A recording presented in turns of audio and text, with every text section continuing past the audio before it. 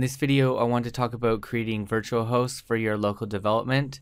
So I'm a PHP developer and I'm sometimes working on multiple different sites um, at a time. And then sometimes sites will be finished and they'll get handed off to clients and then I won't need them anymore. So I'll need to delete them. So just want to talk about um, flexible way that um, I'm going to do this from now on. And what you're looking at right now is my host file. So we're in C Windows System32 slash drivers slash etc slash hosts. And this is the Windows host file. And what I have here is I have um, localhost mapped to um, 127.0.0.1. Um, this comes by default. And I also have created uh, 15 more here from site 1 to site 15. Now, the reason I chose these anonymous names is because, for example, this site 1 right here, um, you know, we could have a site about construction here one time, and then we finish that, and then we put another site about uh, a restaurant. So um, just give these anonymous names, and I think we can remember in our head, um, you know, which site is for uh, which different project. And the good thing about this is we'll never need to change these in the future. So I won't need to change this from the construction name to the uh, restaurant name after. We can just leave it as site one and we have spaces for uh, 15 different sites um, that we could work on at the same time. And then the next part of this is the um, HTTP vhost.conf file. So um, I'm using XAMPP right now. Um, let's just try to um, open this up here. So inside XAMPP, there is the Apache folder. Inside the Apache folder, there is a conf folder, and inside the conf uh, folder, we'll have httpd.conf.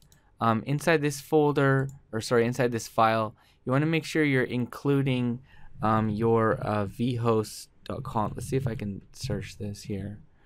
Okay, so you're going to want to make sure this line is uncommented, and we're including this file and then we don't need that anymore. I'm just going to go back to my um, folder here. So inside Apache conf folder, then click on extra, and there's an httpd-confs uh, file. Let's just open that with Notepad++. And you'll see that I've created a number of different virtual hosts here. Um, this first one is um, working on a Laravel site there, so that is site one. And then I have a whole bunch of other here, um, virtual hosts at site two, site three, site four. So really we won't need to change this very much. Um, if I have a project, for example, like Laravel, where um, you know it's not in the root, it's in the Laravel folder and then the public folder. Well, all we have to do is come in and change this, um, change this one line here.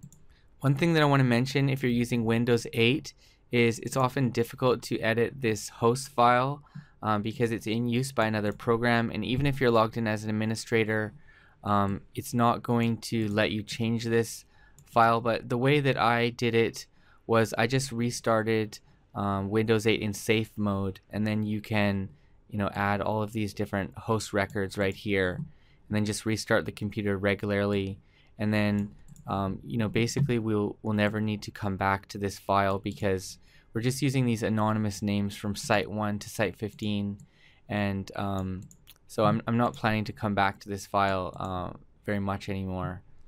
So once you have these set and also you've set up um, as many virtual hosts as you need here, I'm just going to go over to my browser here and you'll see in my browser I have site 1, site 2, site 3, site 4. Okay, so as long as you can remember in your head, um, you know, which site 1 is for which site, site 2 is for which site, I think this is going to be a really easy way to do development and we can constantly be switching in new projects and we won't need to be um, changing any of these records. One last thing I'll mention is you need to restart your Apache server um, after you do this. So if you're using XAMPP, you'll just stop and then start it again. And I think this will be a convenient way to be working on a number of different sites at one time and not have to go and be changing um, those host records all the time.